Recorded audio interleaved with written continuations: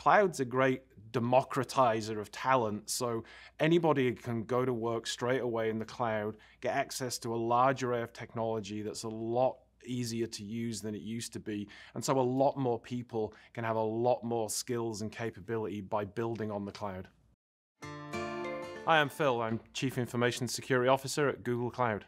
The role of a Chief Information Security Officer is really to be in charge of many different types of risks, whether it's security, privacy, compliance. It's mostly internal facing, making sure what we build for our customers is secure and compliant, uh, but also a large part of it is working with our customers, helping them build on our platform in secure ways. I started in the 1990s in, in cybersecurity, and uh, and like a lot of people of my generation, we kind of stumbled into doing this. So it was not something I set out to do. I was a software engineer, uh, building many different types of systems.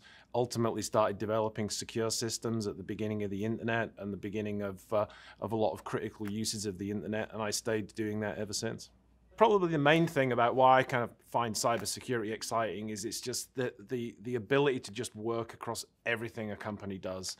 And so every single day is different because you're involved in different product launches, you're involved in different geopolitical situations, you're involved in new technologies. And so it's just the breadth and diversity of what we do that's, uh, that's really exciting.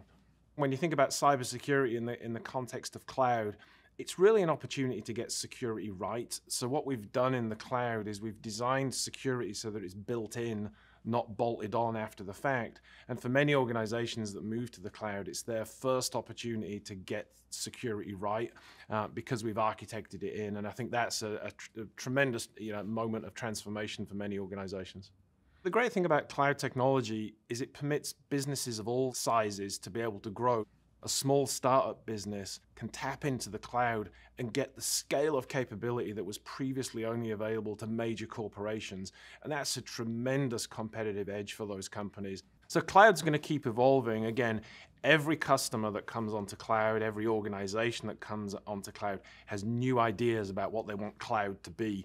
And a cloud provider, we're constantly taking that feedback building new technologies, field testing it with customers, and they give us even more feedback. So it's like a great flywheel that's propelling the innovation forward. In cybersecurity, we really look for people who can collaborate in teams, maintain curiosity, and deliver on that mission of protecting our customers. If you want to get started in a career in cybersecurity, I would say the important and perhaps obvious thing is just to take that first step. Um, so any of us that have been in this field a long time, at one point we knew nothing about it and we took that first step watching that first YouTube video, taking that first certificate, taking that first class, downloading that first toolkit and playing around with things. The important thing is to just take the first step and then the next one and the next one and don't get overwhelmed. Just take those things one step at a time.